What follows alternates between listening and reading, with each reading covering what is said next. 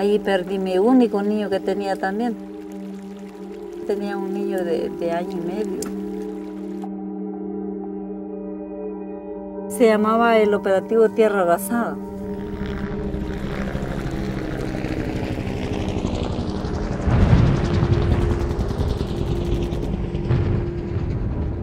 Llegaron helicópteros, ametrallaban y tiraban, y más la balacera de los soldados.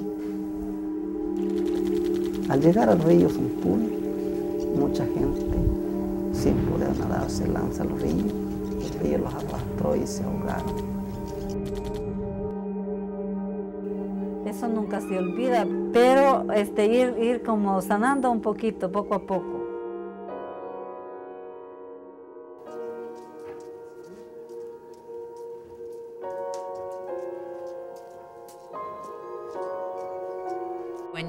Dress your child and get ready to walk out the door to take your child to school, and you don't know whether or not you'll see your child in the afternoon because the military has been roaming through towns recruiting forcibly all children that are older than 10 years.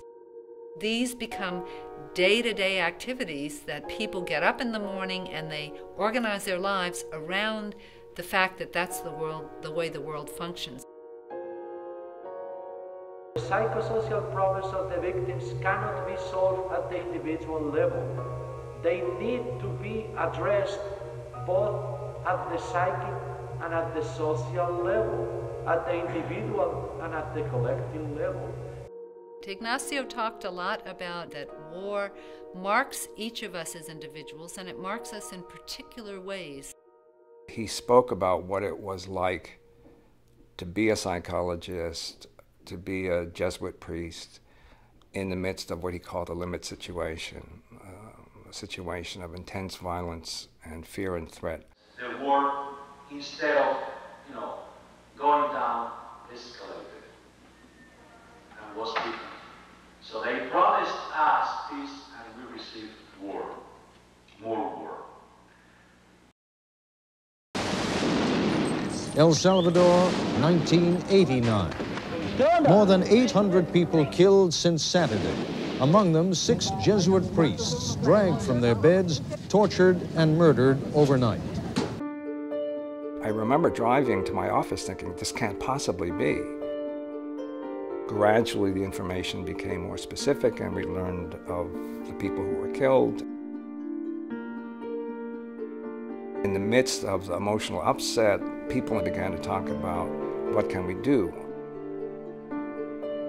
There was a strong sense in his work that there was deep within human beings a potential and a press for creating a new person and creating a new society.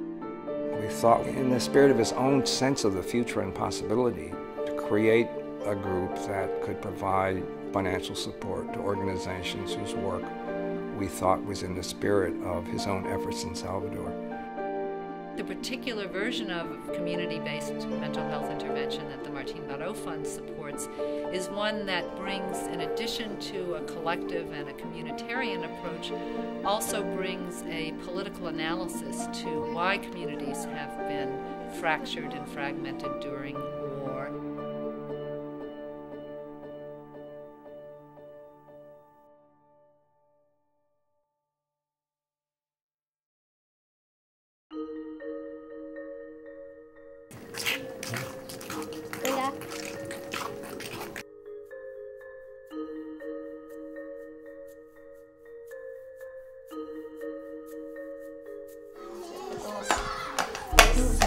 vidas. Entonces, echeme tu tus vidas. Kam xon ku kam pensar ba kam kita pensar ba ni ano no. Tuve tu El susto no se nos ha quitado totalmente, pero sí nos está, el programa de salud mental nos ha apoyado con conocer nuestros valores. Muchas costumbres, muchos valores se perdieron por la guerra. We learned that the trauma and the pain is not the aberration simply of the individual or the experience of the individual. It has to do with the nature of the community and the relationships within the community.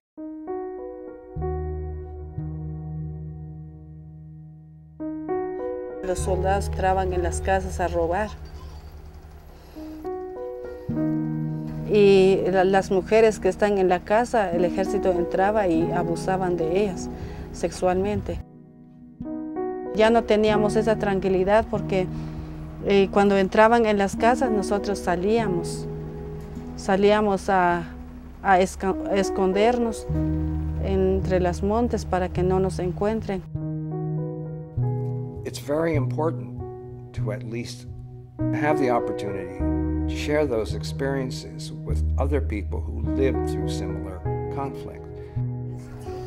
Como sen kaya ni mal tiempo que digo mana ni mal tiempo que ko pale be pues evet ku trishati evet kam katsati atshweto hatse yel koksamati Dialogue at least creates the opportunity, especially when your experiences are shared experiences, to construct new meanings that transform how you think about yourself and how you think about the trauma that you've experienced.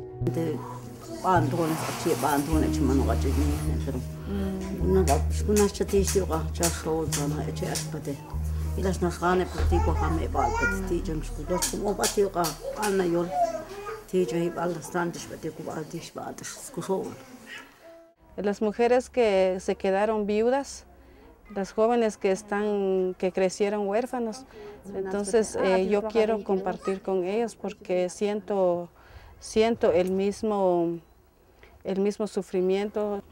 Me gusta también ver ya a las mujeres con quienes he trabajado, me gusta ver a ellas ya, ya con cambios.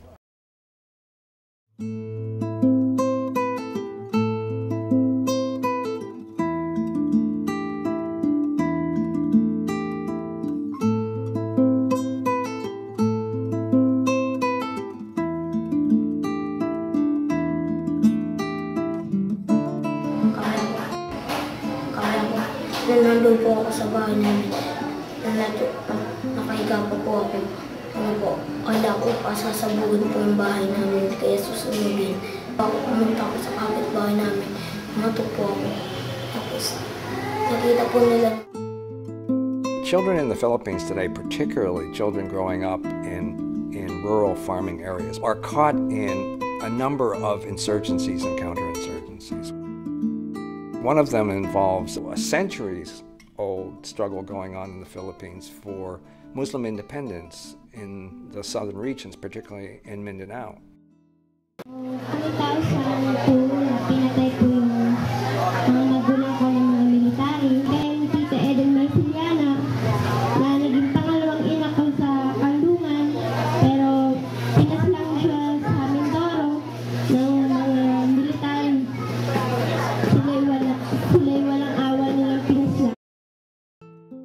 Also globalization. Probably uh, several hundred thousand uh, families have been displaced in the last two or three years as a consequence of the construction of these giant mining operations and logging operations. In a very broad sweep, these are some of the things that kids are exposed to living in the Philippines. Marami pong biktima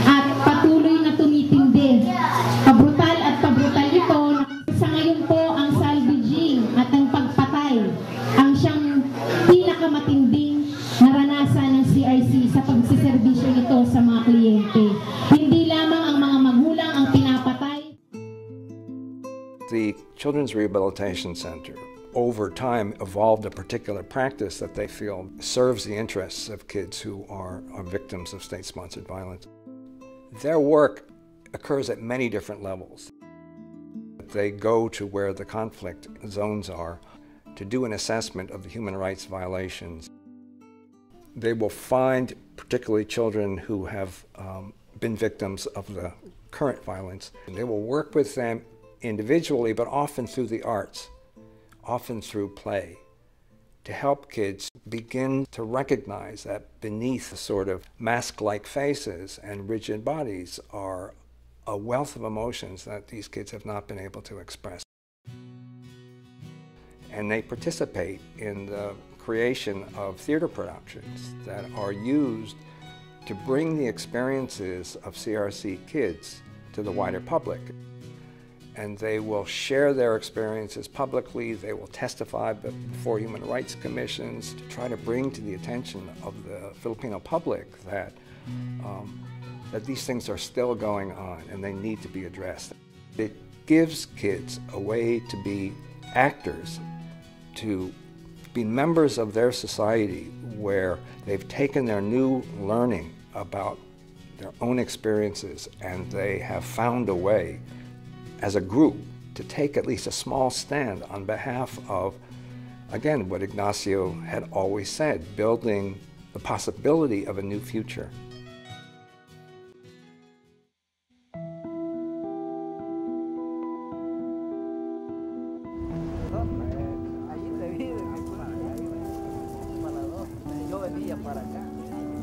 Ya hace 20 años que mi hermano murió aquí en este lugar. Fue el 12 de mayo del, del 88. Y aquí estamos pues conmemorando esa, esa muerte de él y que su muerte no ha sido en vano pues. Agustín Rivera. Ignacio Otero. Felicito Rivera. In El Salvador, in the project that the Martin Baró Fund is supporting, one of the major activities in that project is exhumation processes. Nosotros quisiéramos sacarlo de allí y ponerlo en un lugar digno, pues.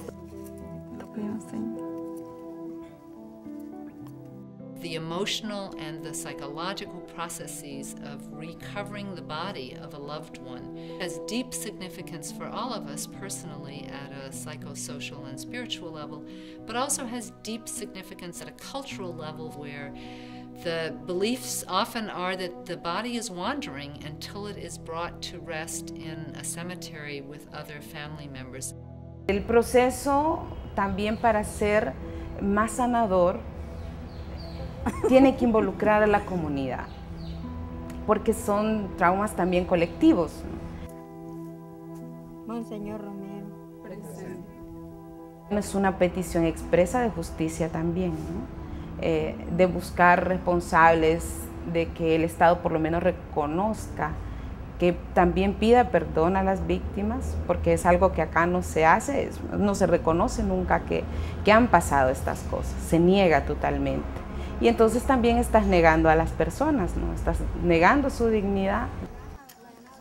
Martín Baró apuntaba muy bien a esto, que la construcción en realidad o reconstrucción del tejido social también, partiendo del trabajo comunitario.